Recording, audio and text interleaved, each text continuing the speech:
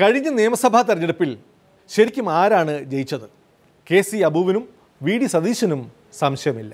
കോൺഗ്രസ് നേതൃത്വം നൽകുന്ന മുന്നണിക്ക് തൊണ്ണൂറ്റിരണ്ട് സീറ്റും ഇടതുപക്ഷത്തിന് നാൽപ്പത്തേഴ് സീറ്റും കിട്ടിയ ആ ഒരു രീതിയിലാണ് നമ്മളെ നടപ്പ്.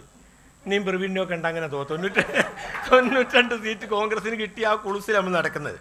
അതുകൊണ്ട് അതൊക്കെ ഒന്ന് മാറി കുറച്ചുകൂടി എളിമയും വിനയവും ഒക്കെ വേണം. എനിക്ക് ഈ അബു പറഞ്ഞ ഏറ്റവും വലിയ ഇഷ്ടപ്പെട്ട ഒരു കാര്യം എല്ലാവരും വിചാരിച്ചേക്കുന്നത് നമുക്കാണ് തൊണ്ണൂറ്റി രണ്ട് സീറ്റ് കിട്ടിയത് സത്യമാണ്. നൂറ് ശതമാനം സത്യമാണ്. ചില നേതൃത്വത്തിൽ ഇരിക്കുന്ന ചില ആളുകളുടെ സംസാരവും അവരുടെ ഭാവവും അവരുടെ ചില സമീപനവും കണ്ട എനിക്ക് തന്നെ സംശയം വരാറുണ്ട്. നമ്മളാണോ ജയിച്ചത്? നമ്മളാണോ ജയിച്ചത്? അവരാണോ ജയിച്ചതെന്ന് സംശയം. ജയിച്ച പോലെയാണ്. വലിയ നേട്ടമുണ്ടായ പോലെയാണ്. പാർട്ടിയുടെ തോൽവിയുടെ കാരണം കണ്ടുപിടിച്ചു കഴിഞ്ഞു. ഉത്തരവാദികൾ ആരെന്നാൽ? ഇപ്പൊ നമ്മൾ കണ്ടുപിടിച്ചുകൊണ്ടിരിക്കുകയാണ് എന്താണ് പറ്റിയത്? അവസാനം കണ്ടുപിടുത്തം നടത്തി എത്തിയിരിക്കുന്നത് നിങ്ങളൊക്കെയാണ് കുഴപ്പക്കാരെന്ന്. ആണെന്ന് നിങ്ങളൊന്നും ചെയ്യാത്തതുകൊണ്ടാണ്.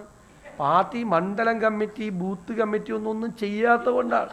എന്ന് വെച്ചാൽ ഞങ്ങളൊക്കെ എന്തോരം കാര്യം ചെയ്യുന്നു ഞങ്ങൾക്ക് ഇത് തന്നെയല്ലേ പണി? രാവിലെ മുതൽ രാത്രി വരെ ഭയങ്കര നേതൃത്വത്തിൽ ഇരിക്കുന്നവരെല്ലാം ഭയങ്കര അധ്വാനം നടത്തി. എന്തൊരു തെരഞ്ഞെടുപ്പിന്റെ മുന്നൊരുക്കമായിരുന്നു? നേതാക്കൾ എല്ലാവരും കൂടി തെരഞ്ഞെടുപ്പിന് എന്തൊരു മുന്നൊരുക്കമായിരുന്നു?